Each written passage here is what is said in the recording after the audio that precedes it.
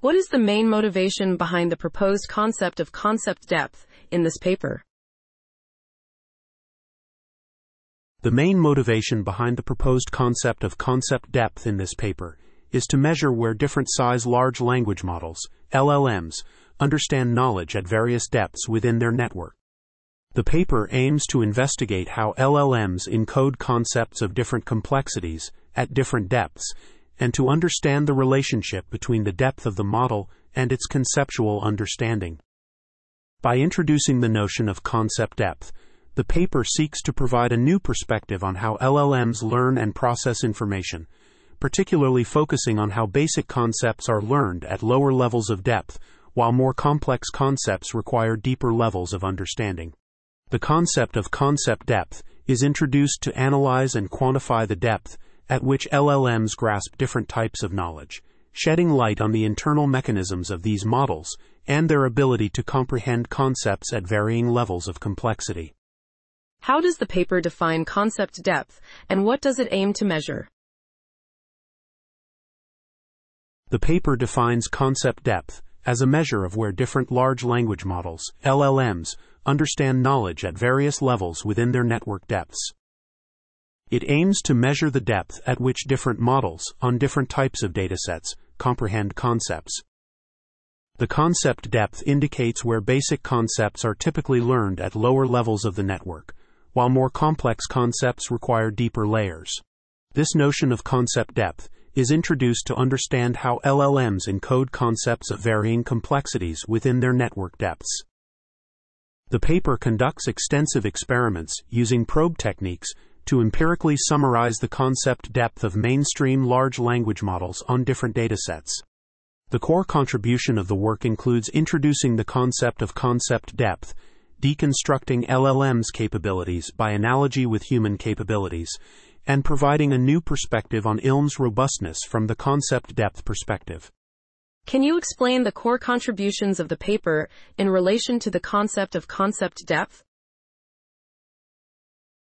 The core contributions of the paper in relation to the concept of concept depth include the introduction of the novel notion of concept depth to measure where different size large language models, LLMs, understand concepts, the deconstruction of LLM capabilities by analogy with complex human capabilities, and providing a new perspective on LLM's robustness from the concept depth perspective. The paper conducts extensive experiments on various mainstream LLMs using probe techniques to measure where different models understand knowledge on different types of datasets. The experiments reveal that basic concepts are typically learned at a low level of concept depth, while more complex concepts require deeper levels. This consistent phenomenon is observed across different LLM families and sizes. Additionally, the paper explores how interfering factors like quantization and random noise affect the concept depth of LLMs, showing that deeper models tend to have more concept depth to counteract interference. The paper also delves into the robustness of LLM's internal representations with respect to concepts, shedding light on how LLMs encode and understand concepts at different depths within their networks. What are the different families of open source models used in the experiments, and how are they categorized based on size? The different families of open source models used in the experiments are Gemma, Llama, and Qwen. These models are categorized based on their size, with Gemma having models of 2B and 7B, Llama having models of 7B and 13B, and Qwen having models of 0, 5B, 1, 8B, 4B, 7B, and 14B. Each family consists of models with varying numbers of parameters, with Gemma ranging from 2B to 7B, Llama ranging from 7b to 13b, and Qwen ranging from 0. 5b to 14b. These models were utilized to support the analysis in the paper, with each family representing a different scale of model size for experimentation and comparison in understanding the concept depth of large language models. How are the datasets categorized in terms of complexity for the experiments conducted in the paper? The datasets in the paper are categorized into easy and complex datasets based on the performance of the large language models, LLMs, on each dataset. Easy datasets are those where linear probes can achieve high classification accuracy at the initial or middle depth of the LLMs. On the other hand, complex datasets are characterized by large fluctuations and stable classification accuracy occurring at the deep depth of the LLMs. The categorization is determined by how well the LLMs perform on the datasets, with linear probes at different depths, with easy datasets showing high accuracy early on, and complex datasets requiring deeper layers for stable classification accuracy. What is the significance of adding noise to the input questions in the experiments? The significance of adding noise to the input questions in the experiments is to observe how the performance of the large language models, LLMs, changes when faced with interference. By introducing random noise at the beginning of each problem, the experiments aim to evaluate the robustness of LLM's internal representations and their ability to maintain concept depth despite external disruptions. The experiments show that the presence of noise in the input data can negatively impact the LLM's learning process, slowing down their ability to converge to an optimal solution.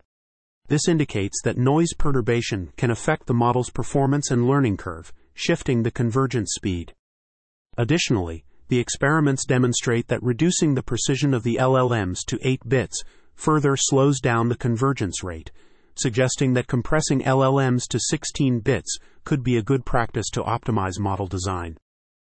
Overall, adding noise helps assess the resilience of LLMs to external disturbances and provides insights into how robust their internal representations are in the face of interference, ultimately influencing the model's learning dynamics and adaptability to different data types.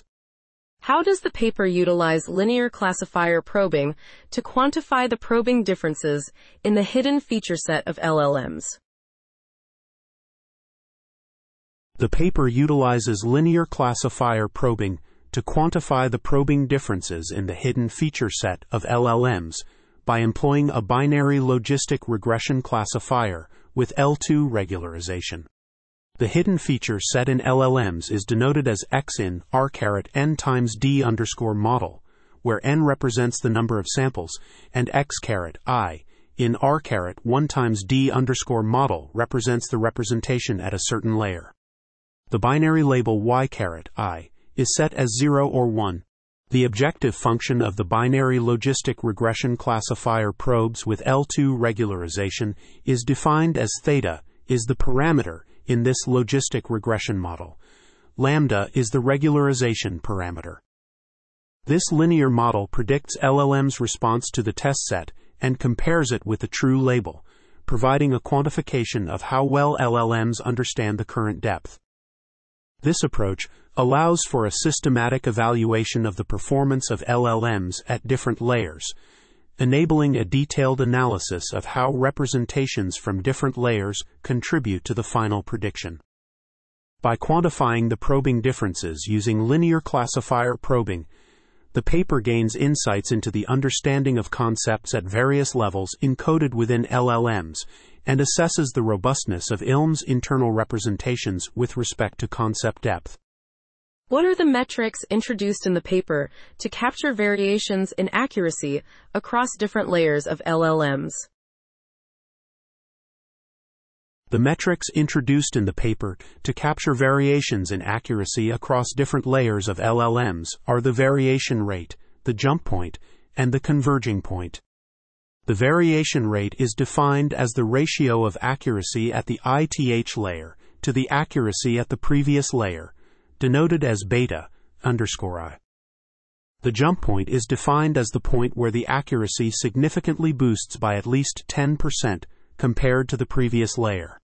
On the other hand, the converging point is defined as the point where the accuracy plateaus or begins to decline, indicating the model's learning saturation or peak learning capacity from the dataset. These metrics provide deeper insights into the learning dynamics of the model and its adaptability to different types of data, helping to understand how well LLMs comprehend concepts across their layers and datasets. Can you explain the research questions addressed in the experimental analysis section of the paper? The research questions addressed in the experimental analysis section of the paper are as follows 1. RQ1 Do different LLMs concept depths behave consistently in the same dataset? 2. RQ2 Do different size LLMs but the same series E, G, GEMMA series have consistent concept depth? 3. RQ3 Do LLMs concept depth of the same size behave consistently? These research questions aim to investigate the behavior of different large language models, LLMs, in terms of their understanding of concepts at various depths. The first question focuses on the consistency of concept depths among different LLMs when applied to the same dataset. The second question delves into whether LLMs of different sizes within the same series exhibit consistent concept depth. Lastly, the third question explores the consistency of concept depth among LLMs of the same size. By addressing these research questions through experimental analysis, the paper aims to provide insights into how LLMs encode and understand concepts at different depths, shedding light on the internal mechanisms of these models and their performance on various datasets. How does the paper suggest leveraging probes for targeted model pruning to accelerate inference in large language models? The paper suggests leveraging probes for targeted model pruning to accelerate inference in large language models by deploying probes throughout a neural network to identify the layer at which a concept is learned. Once this critical layer is identified, Targeted model pruning can be applied by removing unnecessary or less influential layers from the network while preserving overall performance. By cutting off the layers that follow the identified layer, computational overhead is reduced and the model's complexity is decreased, resulting in faster inference times. This targeted pruning process is based on the insights gathered from probes, which act as detectors to pinpoint where specific concepts or features are learned within the network. The knowledge obtained from probes helps in understanding how information flows through the network and which layers contribute significantly to the model's final predictions. Ultimately, by strategically pruning the model based on probe insights, inference in large language models can be accelerated without compromising performance.